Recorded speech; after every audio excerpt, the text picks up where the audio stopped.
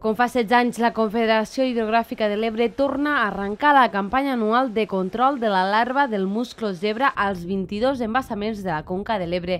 Segons el mostreig realitzat l'any anterior, entre els llocs més afectats per la presència d'aquesta espècie invasora és Flix, Riba-roja, Mequinensa i Amets.